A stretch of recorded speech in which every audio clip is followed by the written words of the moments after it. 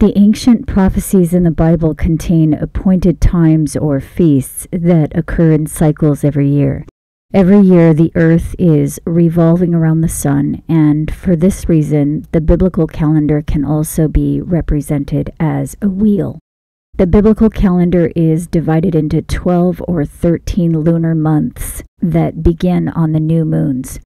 The main appointed times are listed in Leviticus 23. There are three appointed times in the first month, three in the seventh month, and one in the third month.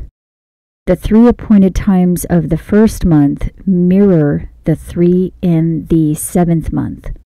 This is most likely because the appointed times were meant to be observed over the whole earth, since true Israel is the whole earth. Also, because the first month starts in the spring, and spring occurs at opposite times of the year in the southern and northern hemispheres. In April, the northern hemisphere is in spring and usually in the first month. In October, the southern hemisphere is in spring and usually in their first month. This means that when the northern hemisphere is observing the appointed times of the first month, the southern hemisphere is observing the appointed times of the seventh month, and vice versa. You'll notice the white highlighted regions on this wheel occur in the first month third month and tenth month of both the southern and northern hemispheres. In the first and seventh months, we're told the rain and trumpets occur.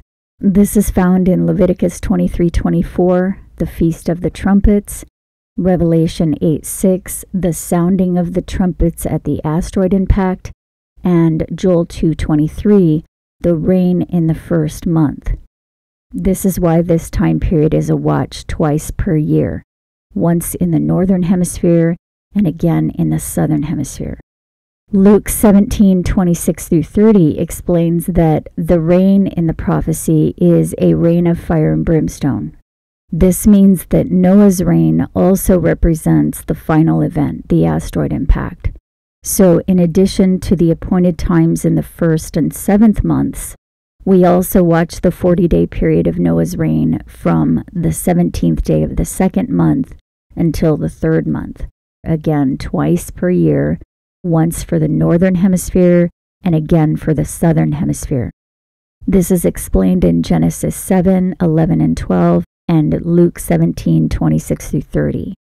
The next yearly biblical watch is the 10th month as explained in Esther 1 and 2, Matthew 22, 2 through 8, Matthew 25, and Revelation 12 and 18. These prophecy parables explain how the queen Babylon has crowned itself on earth, but God will crown the other woman, the multitude of all tribes and nations, when the millstone hits the sea. This represents the escape of the multitude at the asteroid impact the flight of the woman in Revelation 12:14 and her crown in heaven. Esther 2:16 says she was crowned in the 10th month. So for this reason we always watch the 10th month for both the southern and northern hemispheres.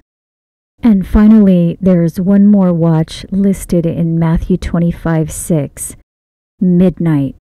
We know the midnight Jesus mentioned here does not represent an hour in the day, because he says in verse 13 that no one will know the day or hour. So midnight must represent something else, possibly the 12th month on the biblical calendar. So there are eight major biblical watch periods each year for the rapture escape.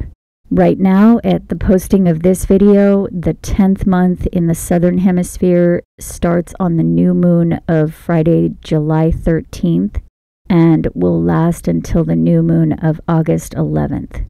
These watch periods are especially important in 2018 due to the ending of both the 1260 and 70 years and the recent fulfillments of Daniel 9.